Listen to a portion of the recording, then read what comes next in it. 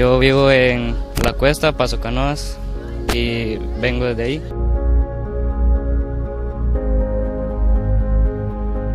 Yo jugaba en, un equipo de barrio, ahí fue donde me avisaron que habían visorías y de ahí fui y pude ganar las visorías y desde ahí he estado en las visorías con los profesores, representando ahí Cotobruz y de, gracias a Dios pude llegar aquí.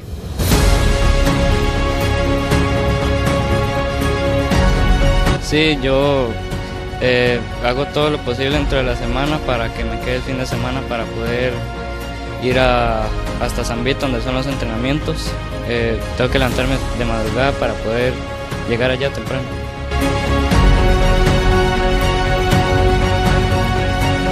Sí, mi mamá es profesora. Eh, ella entre la semana tiene que quedarse después del trabajo para poder los fines de semana llevarme a entrenar para que se quede tiempo libre. Ella tiene que dejar de hacer muchas cosas para poder llevarme a entrenar.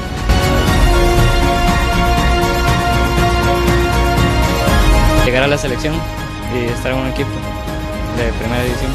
De ahí estoy intentando aportar todo lo posible para, para quedar aquí.